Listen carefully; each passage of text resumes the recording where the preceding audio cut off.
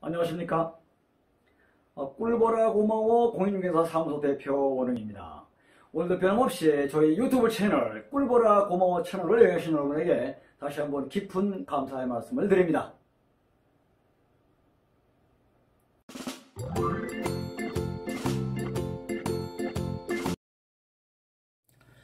어, 오늘 여러분에게 소개드릴 매물은요 강원도 강릉시 성산면 금산리에 위치한 영동고속도로 강릉 톨게이트와 접해 있는 계획관리지역 토지 1102평이 되겠습니다.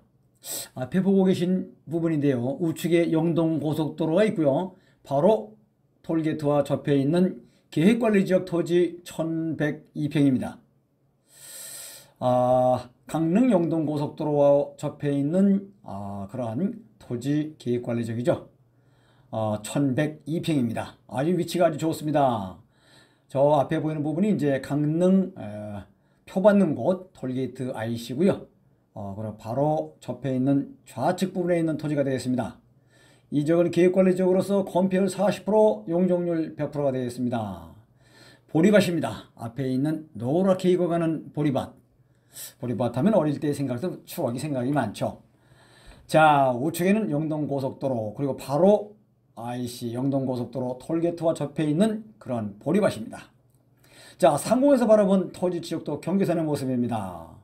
아, 깜빡이는 화살표 그리고 경계선 모습 빨간 선이죠. 아, 토지 모양 좋습니다. 어, 2차선 도로와 접해 있고요. 어, 그리고 이쪽은 계획관리적입니다.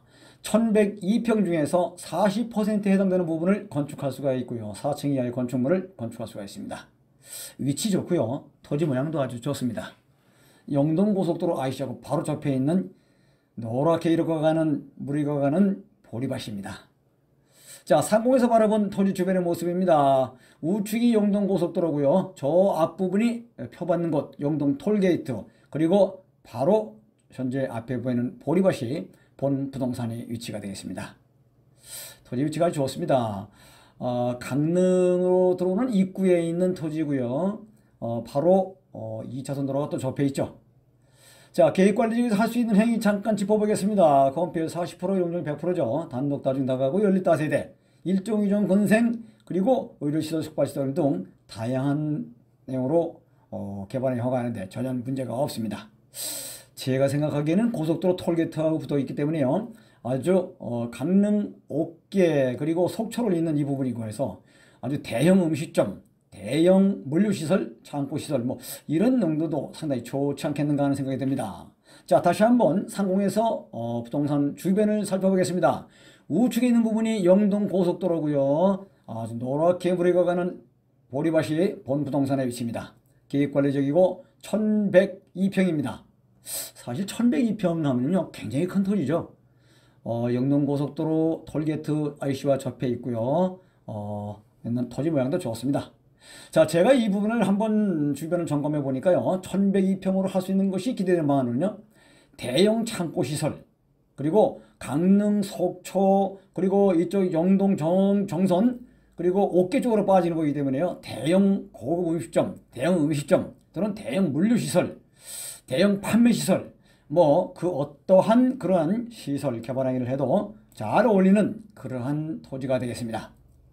자 지금까지 제가 강원도 강릉시 성산면 금산리에 위치한 영동고속도로 강릉 IC와 접해 있는 계획관리지역 총 토지면적 1102평을 여러분에게 소개해드렸습니다.